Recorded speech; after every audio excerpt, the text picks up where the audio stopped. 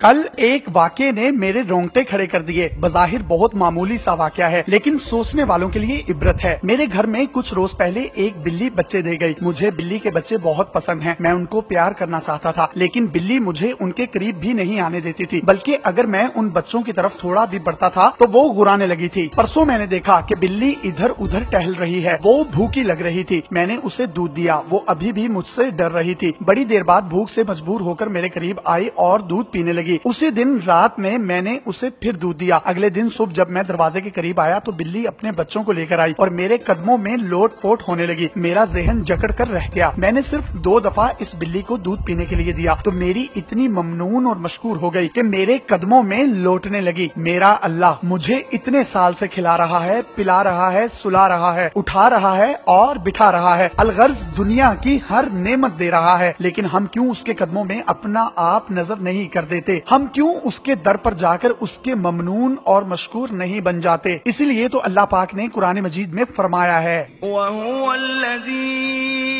أنشأ لكم السمع والأبصار والأفئدة قليلا ما تشكرون۔ اور وہی تو ہے جس نے تمہارے کان اور آنکھیں اور دل بنائے۔ لیکن تم کم شکر گزاری کرتے ہو۔ آپ کے ایک شیئر کرنے سے کتنے ہی لوگ اس ویڈیو سے مستفید ہوں گے اور اللہ تعالیٰ کی بارگاہ میں سجدہ شکر کریں گے۔